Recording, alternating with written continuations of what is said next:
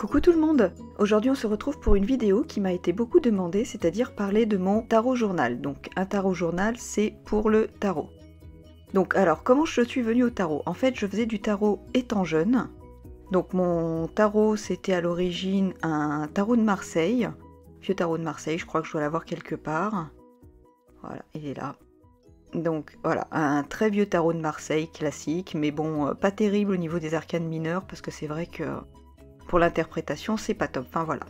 Et donc j'y suis euh, revenue récemment euh, à cause de Vanessa, euh, petite ermite, donc je vais vous mettre le lien. Et j'ai racheté en premier cet oracle, donc qui est l'oracle des reflets de Célia Mélesville. Donc pareil, je vous mettrai le lien en barre d'infos. Donc c'est un oracle de 54 cartes, je crois, voilà, qui a été fabriqué, fabrication française, donc un gros coup de cœur et euh, franchement, euh, je l'adore. Voilà, pas d'autres mots, bon je vais pas euh, m'étendre là-dessus, mais... Donc voilà.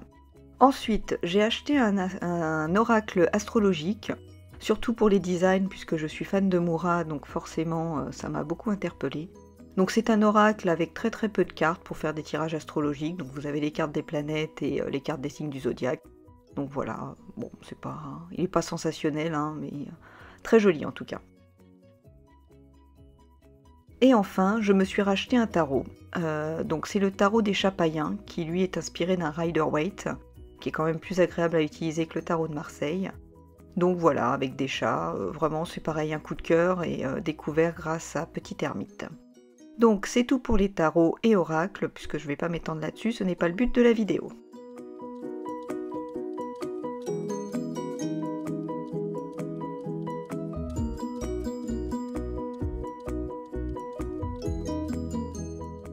Donc mon journal, c'est un Midori Passport. Il y a à l'intérieur euh, deux inserts. Et pour le stylo, j'utilise euh, donc un stylo plume qui est un Lamy 2000 avec une pointe euh, médium. Et au niveau encre, la Art of Darkness de chez Noodlers. Donc à l'intérieur, qu'est-ce qu'il y a? Donc à l'intérieur, premièrement, vous avez mes coordonnées en dessous, puisque je me trimballe avec au cas où je le perds. Et j'ai aussi ce ticket du Hogwarts Express que j'ai ramené de Londres parce que j'y tiens. Ensuite, une petite pochette. Donc à l'arrière, j'y ai mis euh, cette carte du tarot païen parce que j'aime beaucoup le design. Et cette vieille carte Pokémon auquel je tiens euh, souvenir. Un petit peu une amulette, quoi. Ça me fait marrer. Et donc de l'autre côté, vous avez une zip, une pochette zip avec euh, de la monnaie parce que je me sers de ce carnet comme de porte-monnaie. Donc mon premier insert, c'est mon journal des tirages. Donc c'est là-dedans que je trace tous les tirages que j'effectue. Donc généralement je mets en haut la date, la question, et puis les cartes tirées avec les significations. Donc généralement je fais trois cartes comme tirage, puisque bon, j'ai plus l'habitude, donc euh, c'est le plus simple. Donc voilà, simplement un journal des tirages pour tout, euh, pour avoir une trace, et puis ça permet de, voir un petit peu, euh, de faire un retour en arrière pour voir ce qui s'est passé depuis, euh, est-ce que ça a eu de l'effet ou pas. Deuxième insert, donc c'est un insert d'études de, cartes, comme j'ai appelé ça. Donc je l'ai divisé en deux parties, parce que la première partie concerne l'oracle des reflets. Donc ça se présente, c'est tout bête, hein, une page par carte. Et en fait, je note euh, à chaque fois, euh, quand je tire cette carte ou quand j'en ai envie, euh, ce qu'elle signifie, ce que moi je ressens avec. Tout ça, quoi. C'est de, l'étude de cartes.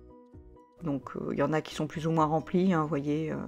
Là, il n'y a pas, pour l'instant, il y en a qu'une qui est remplie, une que j'ai jamais tirée et que j'ai pas eu l'occasion de travailler dessus. Il y en a que je tire souvent ou que j'ai plus approfondi. Donc ça, c'est un travail que je fais au fur et à mesure. Donc voilà, une carte, une page par carte, pardon, et puis, et puis voilà.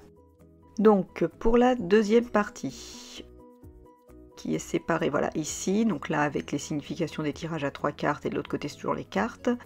Donc c'est un euh, livret d'activité tarot euh, que j'ai décidé de faire avec le tarot des Chapaillants pour apprendre un peu à le connaître, que j'ai commencé là euh, février.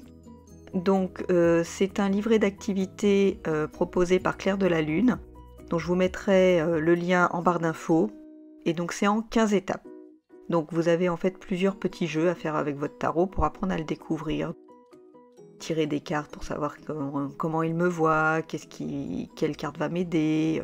la carte que je préfère, donc moi c'est la justice, la carte qui me fait du, de la, qui me rend triste, la carte que je n'aime pas. Ensuite les cartes de cours. Attribuer une carte à chaque membre de la famille. Après, bon, différents exercices. Euh, mon enfant intérieur, j'aime vraiment pas cette carte. Euh, mes rêves, donc avec les cartes affiliées. En fait, ça se mélange, c'est entre, entre des tirages pour apprendre à connaître son tarot et euh, associer certaines cartes du tarot à certaines personnes ou certains rêves, histoire de pouvoir apprendre à connaître ce tarot. Donc voilà, donc c'est tout pour mon petit carnet. J'espère que cette vidéo vous aura plu. Si vous avez des questions ou des remarques, n'hésitez pas à commenter. Et on se retrouve la semaine prochaine pour une nouvelle vidéo. A bientôt